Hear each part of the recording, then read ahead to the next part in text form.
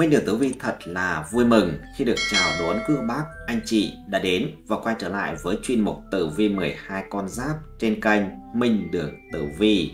Lần đầu tiên, thay mặt cho ban biên tập chương trình, những người làm chương trình, Minh Đường Tử Vi xin được gửi lời chào, lời chúc tới quý bác, anh chị có được vận trình bể trên ban phúc, đón cát xua hung, lộ trình may mắn, công việc thông thuận, tài lộc như ý, sức khỏe thần kỳ, vạn sự đều may, đại cát đại lợi. Và nếu như quý cô bác, anh chị là lần đầu tiên đến với kênh Minh Đường Tử Vi thì hãy hoan hỷ đăng ký kênh, ấn chuông ở phía bên dưới để được đón xem những video mới nhất mà ba 30 tổng trình Minh Đường Tử Vi đăng tải cũng như là thấy nội dung video hay, hữu ích thì hãy like, chia sẻ video cho mọi người cùng xem. Quý cô bác, anh chị cũng đừng quên để lại ý kiến đóng góp ở phía bên dưới phần bình luận. Kênh Minh Đường Tử Vi vô cùng cảm ơn quý cô bác, anh chị và trong nội dung video ngày hôm nay mà ba mẹ Bình Trình Minh Đường Tử Vi muốn gửi tới cô bác, anh chị đó chính là nội dung như sau. Chấn động, thầy tử di báo trước cực chính xác, sự thật chưa từng có về tuổi nhâm dần sinh 1962, đúng trong tháng 11 và tháng 12 âm lịch năm 2024. Biết được mệnh trời, trúng số liên tiếp, trả sạch nợ nần, giàu sang có tiếng, trở mình đổi kiếp đại gia. Kính thưa quý khán giả, và đặc biệt là quý bản mệnh tuổi nhâm dần sinh 1962 thân mến, tử di học có nói rằng, mỗi người sinh ra vào các giờ giấc khác nhau, ngày tháng khác nhau, thì nằm trong cung mệnh khác nhau, và mang một lá số tử di khác nhau. Người tuổi nhâm dần thường có tính cách chính trực, thẳng thắn, hết lòng vì công việc, nên sự nghiệp của họ thường thuận lợi và thành công người tuổi nhâm dần có cuộc đời khá mạnh mẽ về tiền tài, càng về sau càng là làm ăn phát triển thịnh vượng, vốn là những người thông minh. Thấu hiểu thiên cơ, lại được trang bị kiến thức, nên dù ở trong hoàn cảnh nào họ cũng làm ra tiền bạc và hoàn thành công việc được giao một cách xuất sắc. Đối với người tuổi nhâm dần làm kinh doanh buôn bán, tuy bận rộn lo toan vất vả, song lộc đến khá lớn, vì tốt bụng, nhiệt tình nên dẫn số cuộc đời luôn có quý nhân dây quanh và được trời ban cho nhiều điều tốt đẹp trong video ngày hôm nay kênh minh đường tử vi rất hữu duyên được chia sẻ tới quý khán giả chi tiết về các phương diện công danh sự nghiệp tài lộc sức khỏe và tình duyên gia đạo của bản mệnh tuổi nhâm dần sinh 1962 trong tháng 11 và tháng 12 âm lịch năm 2024 âm lịch. Trong 12 con giáp, tuổi nhâm dần sinh 1962 là biểu tượng cho con hổ, sinh vật ở vị trí thứ ba trong chuỗi này. Loài vật này được coi như là vị chúa tể của rừng xanh hoặc được gọi một cách dân giả là ông cọp, hổ tượng trưng cho sức mạnh, lòng dũng cảm và trí tuệ. Người tuổi dần yêu thích những công việc mạo hiểm, đem đến vinh quang và thành công rực rỡ cho mình. Đặc biệt, họ là người mạnh mẽ, quyền uy, thường không dễ bị áp bức hay bị du khống. Nhìn chung, những người mệnh tuổi nhâm dần 1962 cầm tinh con hổ, nên họ thường đam mê quyền lực giống như hổ, là chúa tể rừng xanh vậy luôn có tham vọng rất lớn. Đối với họ, một khi đã xác định được mục tiêu của mình, thì họ sẽ quyết tâm và không ngừng nỗ lực để chắc chắn rằng họ sẽ là người cực kỳ thành công trong xã hội này.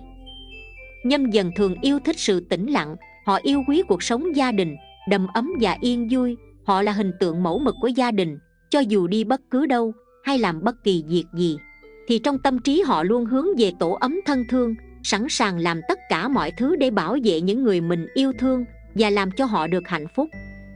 Nhâm dần thường sống ngay thẳng, chân thật, không mấy khi nói chuyện lòng vòng, sâu xa mà không giấu giếm suy nghĩ thật của mình. Họ là người cương trực, không chịu luồn cuối, tâm hồn trong sáng, không chút phần đục. Tuy nhiên, đôi khi họ lại tỏ ra mình là người ham tiền bạc hay chỉ trích người khác, chăm bàn tán chuyện thị phi, lại thiếu nhẫn nại hay dựa dẫm vào người khác.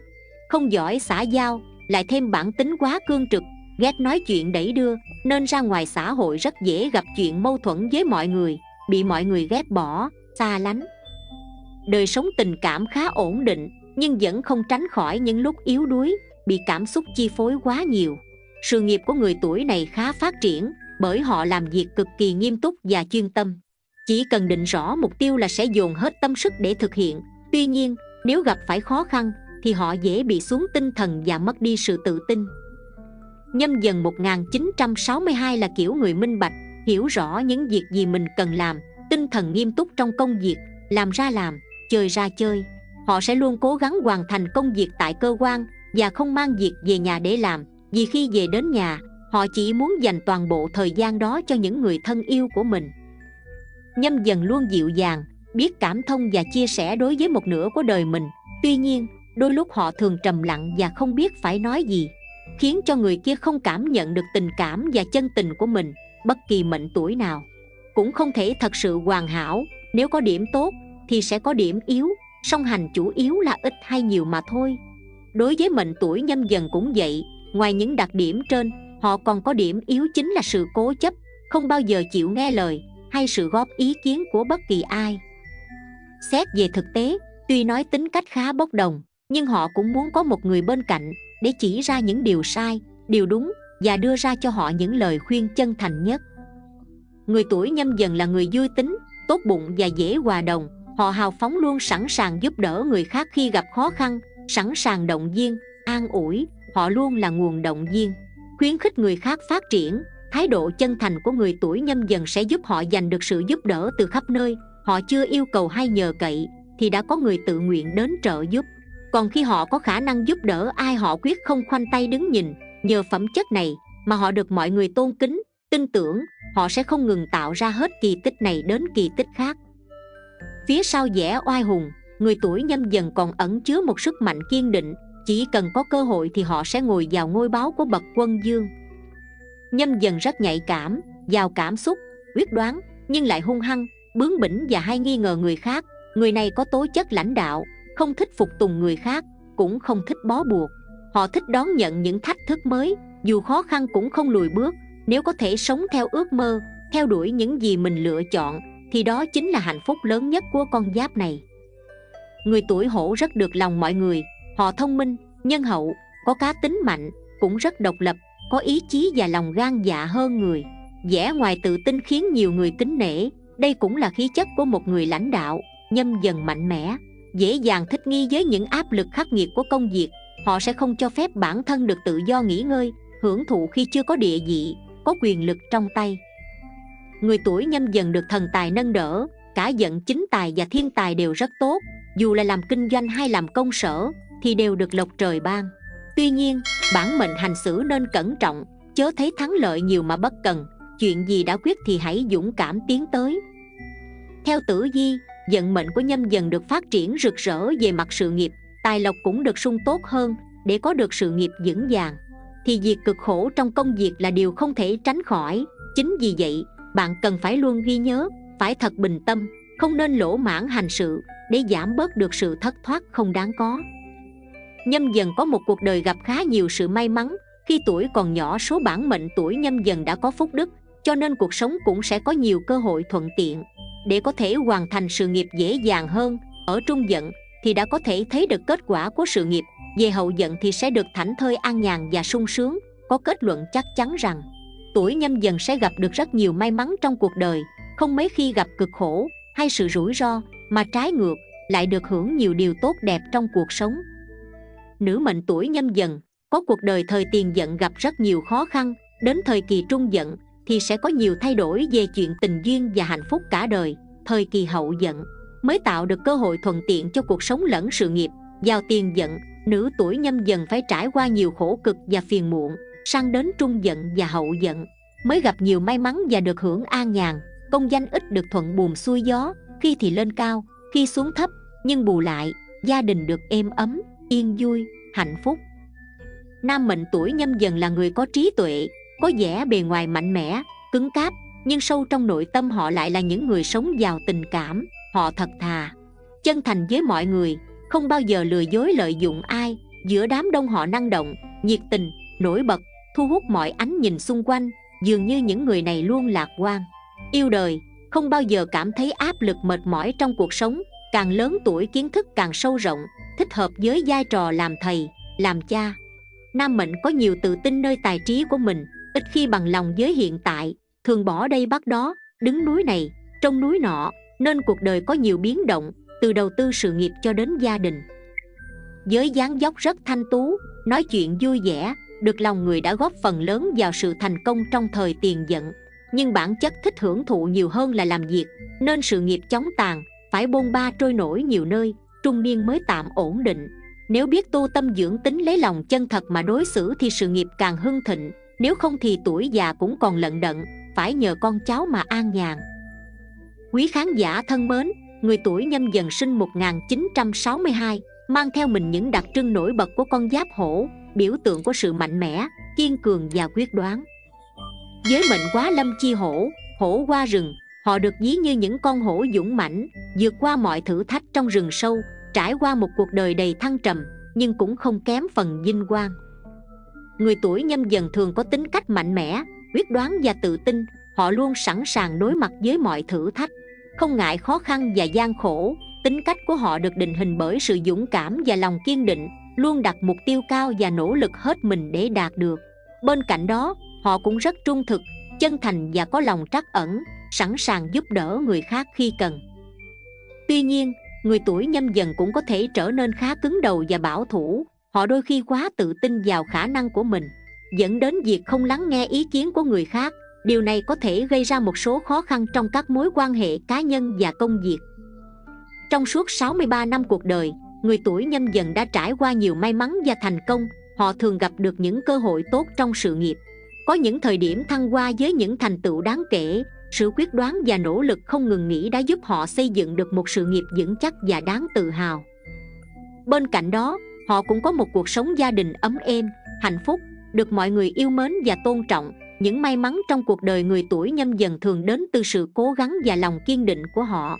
Sự hỗ trợ từ gia đình và bạn bè cũng đóng một vai trò quan trọng giúp họ vượt qua những khó khăn và đạt được thành công.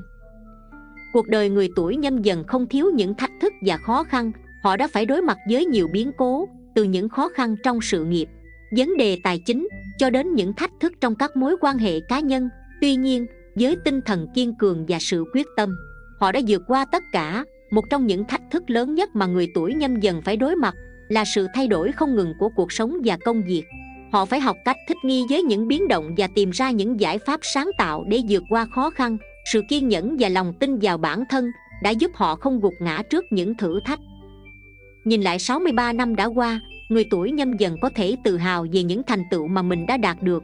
Họ đã xây dựng được một sự nghiệp ổn định, một gia đình hạnh phúc và được mọi người kính trọng. Những bài học từ những thách thức và khó khăn đã giúp họ trở nên mạnh mẽ và khôn ngoan hơn. Bước vào giai đoạn tuổi già, người tuổi nhâm dần nên học cách thư giãn và tận hưởng thành quả của mình.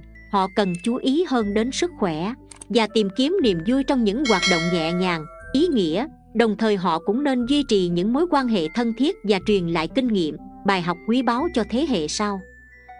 Cuộc đời người tuổi nhâm dần sinh 1962 là một hành trình giải đầy thăng trầm Nhưng cũng không kém phần vinh quang. Từ những thử thách đã vượt qua Họ đã rút ra những bài học quý giá Trở nên mạnh mẽ và kiên cường hơn. Sự quyết đoán, kiên nhẫn và lòng chân thành đã giúp họ xây dựng một cuộc sống đáng tự hào Và tiếp tục là nguồn động lực để họ vượt qua những thách thức phía trước. Quý khán giả thân mến, sau đây sẽ là tổng quan vận trình tử vi trong tháng 11 và tháng 12 âm lịch năm 2024 âm lịch của tuổi nhâm dần sinh 1962. Sự nghiệp và tài chính sẽ có rất nhiều thách thức cho tuổi nhâm dần trong tháng 11 và tháng 12 âm lịch năm 2024 âm lịch. Nhưng đây là cơ hội để tuổi nhâm dần có thể mở rộng mối quan hệ và phát triển bản thân trong sự nghiệp. Theo tử vi, tuổi nhâm dần sẽ có một vài vấn đề, tuy nhiên đây là cơ hội rất tốt để phát triển kinh nghiệm và kỹ năng về tài chính. Tuổi nhâm dần cần phải cẩn thận, không nên đầu tư vào những dự án may rủi. Theo tử vi tuổi nhâm dần, đây sẽ là thời điểm có nhiều biến động và mang đến thật nhiều cơ hội. Còn về phương diện sức khỏe, những người mạng tuổi nhâm dần cần phải quan tâm đến việc giữ gìn sức khỏe, tránh gây stress trong công việc. Quý khán giả thân mến và tiếp theo ngay sau đây sẽ là dẫn trình tử vi chi tiết trên từng phương diện chính của cuộc sống trong tháng 11 và tháng 12 âm lịch năm 2024 âm lịch của tuổi nhâm dần sinh 1962. Xét về phương diện công danh sự nghiệp của tuổi nhâm dần sinh 1962 trong tháng 11 và tháng 12 âm lịch năm 2024 âm lịch. Công việc làm ăn, cơ hội phát triển vẫn sẽ đến với nhâm dần trong hai tháng cuối cùng của năm 2024 âm lịch này. Những thay đổi hay bước ngoặt hoàn toàn có thể xảy ra bất cứ lúc nào. Đôi khi còn gây choáng ngợp. Các mối quan hệ nên được xử lý dĩ hòa, di quý, tránh tranh chấp xung đột. Thời điểm này người tuổi nhâm dần có thể cân nhắc chuyển đổi lĩnh vực hoặc công việc. Tuy nhiên, nên có sự chuẩn bị kỹ lưỡng, đừng quá nóng nảy, dội vàng đối với người tự kinh doanh. Công việc sẽ gặp khó khăn và đòi hỏi bản mệnh phải nỗ lực lớn để vượt qua nhiều thử thách, nên tìm cách hợp tác và liên kết để đạt kết quả tốt hơn là làm một mình. Đối với người làm việc trong cơ quan nhà nước, sự nghiệp sẽ gặp nhiều may mắn, dễ dàng đạt được mục tiêu, người tuổi nhâm dần nên kiên nhẫn và xây dựng quan hệ tốt. Cũng như tận dụng các mối quan hệ trong gia đình, đối với người mới khởi nghiệp, không nên mở rộng hoặc phát triển quá nhanh. Thay vào đó, hợp tác và liên kết kinh doanh sẽ mang đến may mắn hơn nên lắng nghe ý kiến của bạn bè và tìm kiếm cơ hội, không nên hấp tấp và đầu tư quá nhiều tiền bạc. Xét về phương diện tài lộc, trong tháng 11 và tháng 12 âm lịch năm 2024 âm lịch của tuổi nhâm dần sinh 1962 tình hình tài lộc của người tuổi nhâm dần ở mức bình thường, có thu nhập nhưng chi tiêu lớn. Tuy nhiên, nếu gặp khó khăn về tiền bạc, người tuổi nhâm dần sẽ nhận được sự giúp đỡ từ quý nhân hay gia đình, người thân để kích cầu về tài lộc trong tháng 11 và tháng 12 âm lịch năm 2024 âm lịch. Người tuổi nhâm dần nên sử dụng các thứ như chuột ôm tiền hay gậy như ý ngũ phúc lâm môn. Trong thời điểm người tuổi nhâm dần nên tập trung vào mục tiêu của mình, không chấp nhận thất bại. Trong những thời điểm khó khăn, những đặc điểm này sẽ giúp bản mệnh đạt được những tầm cao mới trong sự nghiệp và tài chính người tuổi nhâm dần cũng nên lập kế hoạch hợp lý cho các chi phí tài chính và tiết kiệm tiền để duy trì sự phát triển và thịnh vượng phù hợp. Trong tháng 11 và tháng 12 âm lịch năm 2024 âm lịch, báo hiệu có những khoản chi bất ngờ nên cần có tiền dự phòng. Tuổi nhâm dần được khuyên nên tránh xa việc mua sắm tràn lan và hạn chế sự bốc đồng của mình trong mọi khía cạnh, từ tình yêu, sự nghiệp cho đến chi tiêu. Đặc biệt, trong thời điểm này sẽ mang đến những cơ hội mới và thú vị về sự tăng trưởng, phát triển các tài sản, tài chính. Bản mệnh luôn tìm hiểu thay đổi của thị trường để có những động thái đầu tư đúng đắn, giúp mang lại nguồn tài chính lớn và thành công cho người tuổi nhâm dần. Xét về phương diện sức khỏe của tuổi nhâm dần sinh 1962 trong tháng 11 và tháng 12 âm lịch năm 2024 âm lịch những người tuổi nhâm dần được khuyên nên kiểm soát căng thẳng và thực hiện các bài tập thở, tập yoga hàng ngày để duy trì sức khỏe thể chất và tinh thần, thiền có thể giúp cải thiện sức khỏe tổng thể. Người tuổi nhâm dần nên bỏ thuốc lá để tăng cường trí óc và ý chí của mình, vì nhâm dần là biểu tượng của sự quyết tâm, sức mạnh tinh thần và thể chất cao. Người tuổi nhâm dần nên phòng bệnh, và khi có bệnh cần đến ngày bác sĩ chuyên khoa, bất cẩn là không được phép người tuổi nhâm dần phải duy trì sức khỏe, tinh thần và thể chất tốt để tận dụng tối đa những đặc điểm bên trong của bản thân. Tuổi nhâm dần trong tháng 11 và tháng 12 âm lịch năm 2024 âm lịch, phải lưu ý các bệnh liên quan tới huyết áp và chú ý bệnh tật lâu khỏi, đặc biệt phải chú ý vấn đề xe cộ và đường huyết không tốt. Xét về phương diện tình duyên gia đạo của tuổi nhâm dần sinh 1962 trong tháng 11 và tháng 12 âm lịch năm 2024 âm lịch. Cảm xúc của người tuổi nhâm dần dự đoán có nhiều dao động trong tháng 11 và tháng 12 âm lịch năm 2024 âm lịch, bản mệnh nhạy cảm hơn, thiếu cảm giác an toàn. Điều này sẽ khiến người tuổi nhâm dần lo lắng về những cái được và mất trong mối quan hệ, có thể đánh mất tình yêu đích thực của mình. Nếu hành xử không đúng, bản mệnh nên chú ý không mang những cảm xúc tiêu cực về nhà để không ảnh hưởng đến quan hệ hôn nhân đối với người tuổi nhâm dần đã kết hôn trong thời điểm này tình cảm gia đình có thể gặp khó khăn dễ xảy ra mâu thuẫn và thiếu sự hòa hợp trong cuộc sống do đó hãy giới hạn xung đột và kiềm chế lời ăn tiếng nói của mình Tiếp theo là dẫn trình tử vi chi tiết từng tháng âm lịch của tuổi nhâm dần sinh 1962 trong tháng 11 và tháng 12 âm lịch năm 2024 âm lịch. Đầu tiên, là tử vi tháng 11 âm lịch 2024 của tuổi nhâm dần sinh 1962. Xét về phương diện công danh sự nghiệp của tuổi nhâm dần sinh 1962 trong tháng 11 âm lịch. Xem tử vi tháng 11 âm lịch của tuổi nhâm dần thấy rằng các hung tinh xuất hiện trong tháng này sẽ đem lại nhiều tác động tiêu cực trên phương diện sự nghiệp cho người tuổi nhâm dần. Do sức khỏe suy giảm và tinh thần mệt mỏi nên bạn thường xuyên bỏ bê, lười biếng không muốn bắt tay vào công việc. Nếu cứ tiếp tục tình trạng này, bạn sẽ rất dễ mắc phải sai lầm trong công việc, thậm chí bị lãnh đạo đánh giá thấp. Bạn không muốn nỗ lực từ trước đến nay của mình bị đổ bể. Chỉ vì một chút lơ là trong khoảng thời gian ngắn trước, vì thế, bạn cần phải cổ vũ mình suy nghĩ tích cực hơn. Nếu có vướng mắc gì không thể tự mình giải quyết, thì bạn có thể trao đổi trực tiếp với cấp trên, với bạn bè, đồng nghiệp hoặc với người thân của mình để được giúp đỡ. Mặt khác do ảnh hưởng của hung tinh thiên cẩu, kẻ tiểu nhân vẫn sẽ luôn nhòm ngó bạn, bất chấp bạn đã an phận thủ thường. Thời điểm này bạn cần hạn chế tính nóng nảy, tránh tranh cãi với người khác, kẻo bị kẻ xấu thừa cơ hãm hại. Tuy nhiên, nếu bạn có thể chăm chỉ nhiệt tình hơn trong công việc, thì mọi chuyện sẽ không mãi u ám như vậy, vận trình của bạn vẫn sẽ có những điểm sáng. Do các các tinh tả phù, nguyệt mã và thiên vũ che chở, càng cố gắng bao nhiêu bạn lại càng học hỏi thêm được nhiều kiến thức hữu ích để áp dụng vào công việc bấy nhiêu. Hơn nữa, với tinh thần làm việc cầu tiến, dù bạn có mắc lỗi sai đi nữa, thì cũng sẽ được mọi người thông cảm và giúp đỡ vượt qua.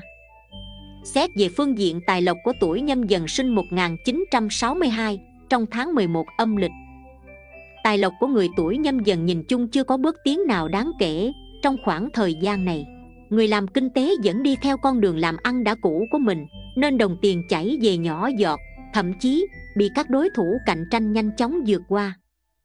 Thêm vào đó, con giáp này còn ngại ngần trong việc hợp tác với người khác Bảo thủ không muốn đổi mới suy nghĩ Nên công việc kiếm tiền lại càng thêm khó khăn Nhiều người thậm chí còn lâm vào cảnh bế tắc.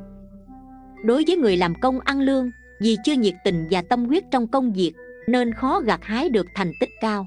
Các khoản thưởng nóng gần như là không có, Ít nhất bạn nên cố gắng duy trì khoản lương cứng của mình, Đừng vì mắc lỗi sai mà bị trừ lương. Sao bát bạch cũng khiến cho tình trạng sức khỏe của bản mệnh suy giảm, tháng này, bạn phải xác định tinh thần mình sẽ tốn thêm một khoản tiền thuốc thang. Để có thể giảm thiểu chi phí này bạn cần nhắc nhở bản thân sinh hoạt khoa học, nếu có vấn đề gì thì cần thăm khám ngay từ khi còn sớm để tránh khiến bệnh tình trở nặng. Còn nếu muốn cải thiện tình hình kinh tế bạn nên năng động và tin tưởng hơn vào chính bản thân mình để thử sức trong những lĩnh vực mới, hoặc là môi trường mới. Có thể quá trình làm quen ban đầu bạn sẽ gia dấp và vất vả, song cuối tháng sẽ là lúc bạn được tận hưởng thành quả của mình. Khẩu quyết, quan hệ gia đình hài hòa, nhận được nhiều lời quan tâm và động viên. Quý nhân là tuổi mão và tuổi ngọ, tiểu nhân là tuổi dần và tuổi tỵ. Màu sắc may mắn là trắng và xanh lam. Xét về phương diện sức khỏe của tuổi nhâm dần sinh 1962 trong tháng 11 âm lịch.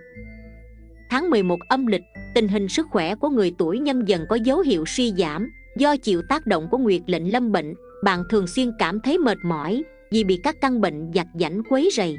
Cũng do vậy mà bạn thường xuyên kén ăn thiếu ngủ tinh thần uể oải không phấn chấn. Con giáp này không nên thả trôi tình hình hiện tại mà hãy nỗ lực thay đổi, trước hết là từ lối sống của mình. Hãy ra ngoài vận động, hít thở bầu không khí trong lành, và kết bạn nhiều hơn. Chắc chắn bạn sẽ cảm nhận được nguồn năng lượng tích cực mà mọi người truyền cho mình. Nếu cảm thấy cơ thể có dấu hiệu bất ổn, bạn cũng nên kịp thời khám chữa, chứ chớ nên giấu bệnh. Bởi như vậy, thì căn bệnh mà bạn mắc phải sẽ chỉ càng trở nặng hơn thôi. Trên phương diện tinh thần, nếu cảm thấy mệt mỏi, áp lực bạn nên tâm sự với người thân thiết và đáng tin cậy. Đừng giấu mọi chuyện trong lòng. Làm được như vậy, bạn sẽ cảm thấy nhẹ nhõm hơn nhiều, thậm chí tìm ra hướng đi mới cho cuộc sống. Tiếp theo là tử vi tháng 12 âm lịch năm 2024 của tuổi nhâm dần sinh 1962 Xét về phương diện công danh sự nghiệp của tuổi nhâm dần sinh 1962 trong tháng 12 âm lịch Xem tử vi tháng 12 âm lịch của tuổi nhâm dần cho thấy, phương diện sự nghiệp của tuổi nhâm dần trong tháng mới nhìn chung không có biến động gì quá lớn. Bản mệnh có thể yên tâm đón một tháng cuối năm khá dễ chịu, chăm chỉ và nghiêm túc thì việc gì cũng xong. Nhìn thấy thành tích ngày tức khắc, các kế hoạch đều được bạn xử lý ổn thỏa ở thời điểm cận kề tết nguyên đáng nhờ đó tới cuối tháng bạn có thể yên tâm đón một cái tết khá ấm cúng, mà không chịu bất cứ áp lực nào hơn thế nữa, những người tuổi nhâm dần còn không ngại ngần giúp đỡ mọi người xung quanh khi có thể. Sự nhiệt tình khiến bạn được nhiều người yêu mến. Đồng nghiệp sẵn lòng giúp đỡ bạn khi cần thiết. Môi trường làm việc hài hòa, cũng thôi thúc con giáp này chủ động nhận thêm nhiệm vụ khi cần. Vì muốn thể hiện bản nhiều hơn, bạn nhiệt tình như vậy là tốt, nhưng cũng nên chú ý tới thái độ của bản thân, chớ để người khác nghĩ rằng bạn đang quá kênh kiệu khoe khoang.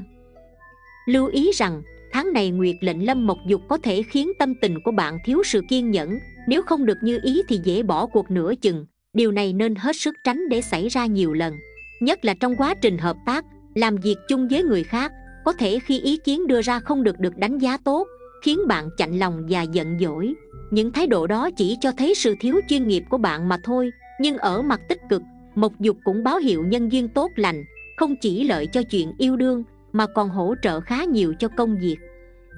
Tuổi nhâm dần có thể được gần gũi một vài nhân vật có uy tín, giúp bạn tiến nhanh hơn. Những cơ hội như vậy không dễ gì có được, nên bạn cần tranh thủ học hỏi tích lũy kiến thức và kinh nghiệm cho bản thân khi cần thiết.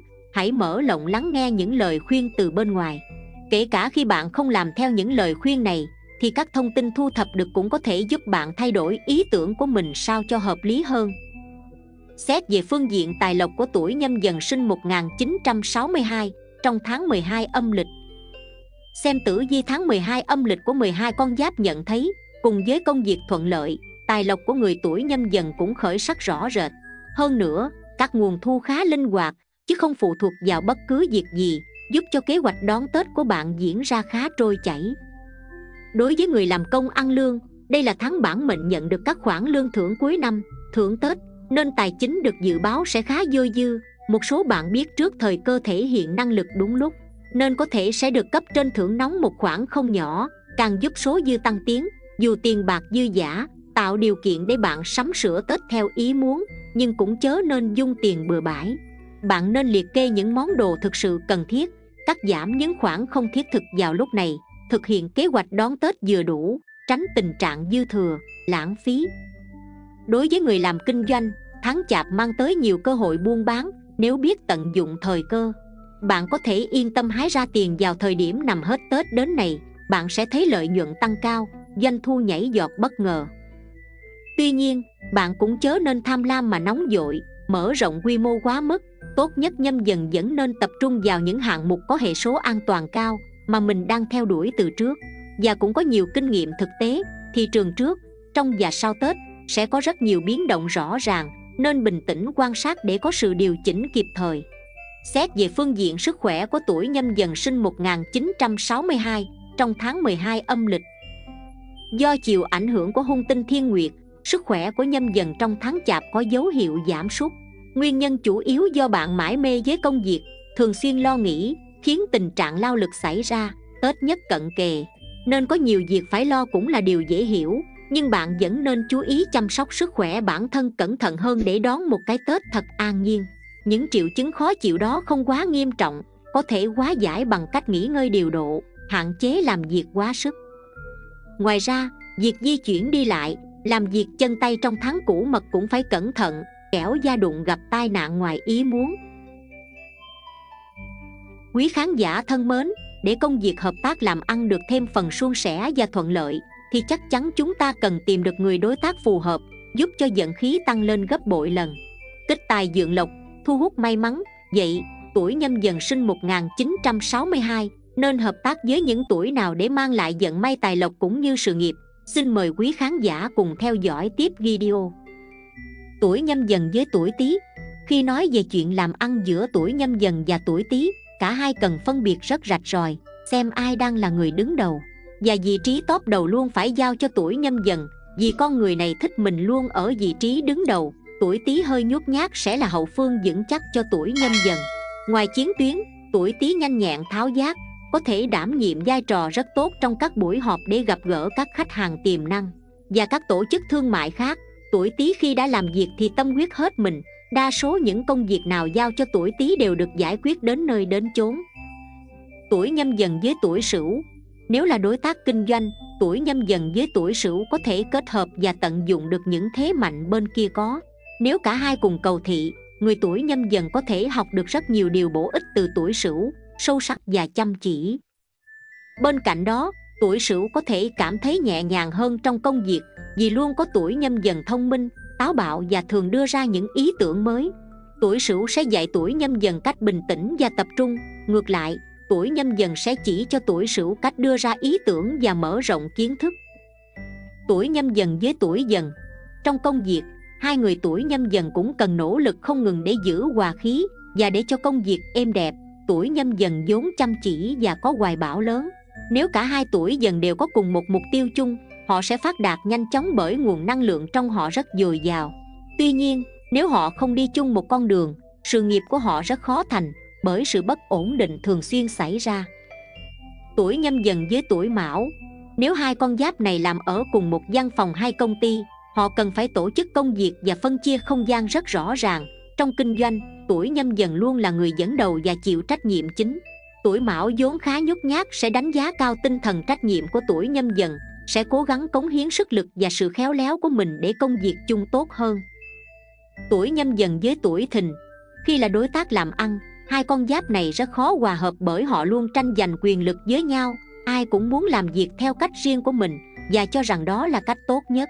Tuổi thìn phải lựa nhiều để có thể trở thành đối tác của tuổi nhâm dần. Ngược lại, tuổi nhâm dần cần phải học cách để chia sẻ và làm theo mục đích chung, chứ không thể chỉ làm theo cách riêng của mình. Tuổi nhâm dần với tuổi tỵ. Hai hành tinh này nếu là đối tác kinh doanh thì họ lại cùng nhau làm ăn khá tốt. Tuổi tỵ vốn rất may mắn trong chuyện kiếm tiền nhờ khả năng đối ngoại và giao tiếp tốt, bên cạnh đó, tuổi nhâm dần dũng cảm và tính tình khá thoáng, sẽ biết cách để thúc đẩy sự nghiệp kinh doanh phát triển mạnh mẽ. Vậy nhưng vấn đề mấu chốt là hai con giáp này cần hiểu và hỗ trợ cho nhau. Tuổi nhâm dần với tuổi ngọ. Về phương diện kinh doanh, tuổi nhâm dần và tuổi ngọ có thể hợp tác tốt. Họ sẽ tạo nên một môi trường làm việc hứng thú, vui vẻ và năng động công việc sẽ tăng trưởng tốt nhờ vào những sáng kiến tốt đẹp và tư duy luôn đổi mới. Tất nhiên trong công việc, người tuổi nhâm dần nên đóng vai trò chỉ đạo và phải để mắt tới tuổi ngọ, vì họ rất dễ nhảy việc. Tuổi nhâm dần với tuổi mùi. Nếu hai hành tinh này là đồng nghiệp, tuổi nhâm dần cần để không gian cho tuổi mùi phát huy khả năng sáng tạo. Tuy trong con người tuổi mùi có tính nghệ sĩ, nhưng không vì thế mà không đảm nhiệm tốt được công việc kinh doanh trong công việc, tuổi mùi không thích mạo hiểm làm điều gì cũng phải chắc chắn. Dù gì thì tuổi mùi vẫn may mắn vì được làm việc cùng tuổi nhâm dần. Vì sự lạc quan, dũng cảm, hài hước của tuổi nhâm dần là món quà tặng lớn đối với tuổi mùi. Tuổi nhâm dần với tuổi thân. Trong công việc, hai hành tinh này cũng có nhiều việc cần bàn. Tuổi nhâm dần nghiêm khắc và yêu cầu tuổi thân phải làm việc nhiều hơn. Trong khi đó tuổi thân thích chơi nhiều hơn làm hai con giáp này nhanh chóng chán nhau. Bởi tuổi thân coi tuổi nhâm dần là kẻ thích làm bề trên trong mắt tuổi nhâm dần, tuổi thân là mẫu người lông bông và ham chơi. Tuổi nhâm dần với tuổi dậu. Nếu tuổi nhâm dần và tuổi dậu là đối tác kinh doanh, họ sẽ kết hợp với nhau khá tốt trong lĩnh vực này. Tuổi nhâm dần đánh giá cao hơn tuổi dậu về những nỗ lực cải thiện công việc. Và năng lực làm việc khiến tuổi nhâm dần không thể phàn nàn. Người tuổi dậu thì vui vẻ để tuổi nhâm dần đứng ở vị trí dẫn đầu, và tình nguyện làm hậu phương vững chắc. Tuổi nhâm dần với tuổi tuất nếu là đối tác kinh doanh, hai con giáp này sẽ kết hợp khá ăn ý với nhau, tạo thành một đế chế thịnh vượng và phát triển. Đó là sự kết hợp của sự thông minh, dũng cảm, sáng tạo của tuổi nhâm dần, và sự trung thành đáng tin cậy của tuổi tuất.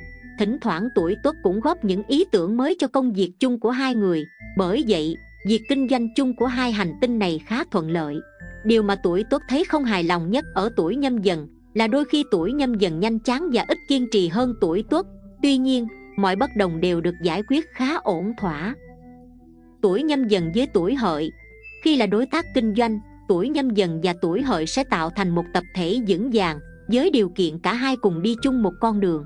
Tuổi hợi khá chăm chỉ và sự nỗ lực của tuổi hợi sẽ tạo tiền đề thật tốt để tuổi nhâm dần phát triển ý tưởng sáng tạo trong kinh doanh. Quý khán giả thân mến, ai trong chúng ta cũng mong muốn có một cuộc sống an nhiên hạnh phúc khi về già. Tuy nhiên để đạt được điều đó, không phải chỉ cần đợi đến khi tuổi già đến mới bắt đầu chuẩn bị. Việc xây dựng một cuộc sống an yên về già, thực tế là một hành trình dài mà chúng ta cần phải đầu tư và lên kế hoạch từ sớm. Muốn về già an nhiên trước 60 tuổi nhất định phải làm năm điều này. Một là duy trì sức khỏe cả về thể chất lẫn tinh thần. Sức khỏe là yếu tố quan trọng nhất giúp bạn có một cuộc sống an yên khi về già trước 60 tuổi việc chăm sóc và duy trì sức khỏe không chỉ dừng lại ở việc phòng bệnh mà còn là tăng cường sức đề kháng và cải thiện chất lượng cuộc sống hàng ngày bạn nên duy trì thói quen tập thể dục đều đặn chọn những bộ môn như đi bộ yoga hoặc bơi lội phù hợp với lứa tuổi và tình trạng cơ thể Bên cạnh đó, cần chú ý đến chế độ dinh dưỡng hợp lý, giảm lượng muối đường và chất béo trong khẩu phần ăn để phòng ngừa các bệnh lý về tim mạch, huyết áp và tiểu đường. Không chỉ quan tâm đến sức khỏe thể chất, sức khỏe tinh thần cũng đóng vai trò quan trọng không kém. Hãy thường xuyên dành thời gian cho các hoạt động giúp giảm căng thẳng như thiền, đọc sách hoặc giao lưu với bạn bè để giữ cho tâm trí luôn thoải mái và lạc quan. Hai là rèn luyện tinh thần lạc quan và tích cực Sống lạc quan và tích cực là chìa khóa giúp bạn cảm nhận cuộc sống một cách nhẹ nhàng, thanh thản hơn. Trước 60 tuổi hãy học cách chấp nhận những thay đổi và thách thức trong cuộc sống. Từ công việc, sức khỏe đến các mối quan hệ, đừng để những lo toan, căng thẳng kéo dài làm ảnh hưởng đến tâm lý. Hãy tự tạo cho mình những niềm vui nhỏ từ những điều giản dị hàng ngày và luôn biết ơn những gì mình đang có. Sống tích cực còn là cách giúp bạn duy trì sức khỏe, tinh thần bền vững hạn chế nguy cơ mắc các bệnh liên quan đến trầm cảm lo âu khi tuổi già đến hãy học cách tha thứ buông bỏ những điều tiêu cực để tâm hồn luôn nhẹ nhàng và thanh thản ba là tạo dựng mối quan hệ bền vững mối quan hệ xã hội và gia đình cũng đóng vai trò quan trọng đối với cuộc sống an nhiên về già. Hãy dành thời gian để dung đắp và duy trì những mối quan hệ tốt đẹp với gia đình. Bạn bè, đồng nghiệp trước 60 tuổi, việc duy trì và phát triển các mối quan hệ lành mạnh không chỉ giúp bạn có thêm niềm vui trong cuộc sống, mà còn là nguồn động viên tinh thần vô giá. Những mối quan hệ gia đình thân thiết sẽ là chỗ dựa vững chắc khi bạn gặp khó khăn, trong khi những người bạn lâu năm sẽ giúp bạn vượt qua những nỗi cô đơn của tuổi già hãy tham gia các hoạt động xã hội. Các câu lạc bộ hay thậm chí là hoạt động tình nguyện để xây dựng và duy trì mối quan hệ tích cực với những người xung quanh. 4 là quản lý tài chính thông minh. Một yếu tố không thể thiếu để có cuộc sống an yên khi về già chính là tài chính. Trước 60 tuổi, bạn cần lên kế hoạch chi tiêu hợp lý, tiết kiệm và đầu tư thông minh, không nên phụ thuộc hoàn toàn vào lương hưu, vì đôi khi khoản lương này không đủ để đáp ứng nhu cầu sinh hoạt tuổi già hãy tích lũy một khoản tiền dự phòng cho các trường hợp khẩn cấp, đặc biệt là chi phí y tế, bởi vì tuổi già thường đi kèm với những vấn đề sức khỏe không lường trước. Việc đầu tư vào các kênh an toàn và ổn định như bất động sản hoặc các quỹ tiết kiệm sẽ giúp bạn có nguồn thu nhập thụ động khi về hưu. Bên cạnh đó, việc học cách quản lý tài chính cá nhân từ sớm cũng giúp bạn tránh được các rủi ro không mong muốn, đảm bảo an toàn tài chính cho tương lai năm là tìm niềm vui trong công việc hoặc sở thích. Cuộc sống sẽ trở nên tẻ nhạt nếu chúng ta không có điều gì để mong đợi mỗi ngày. Trước 60 tuổi, bạn nên tìm cho mình một công việc hoặc sở thích giúp duy trì niềm vui trong cuộc sống. Đó có thể là một công việc bán thời gian phù hợp với sức khỏe hoặc tham gia vào các hoạt động nghệ thuật sáng tạo như vẽ tranh, làm giường chơi nhạc cụ những sở thích và công việc này không chỉ giúp bạn cảm thấy cuộc sống có ý nghĩa mà còn tạo ra những giá trị tinh thần tích cực giúp tránh được sự cô đơn và nhàm chán khi về già quý khán giả thân mến trên đây là tử vi của tuổi nhâm dần sinh 1962 trong tháng 11 và tháng 12 âm lịch năm 2024 âm lịch.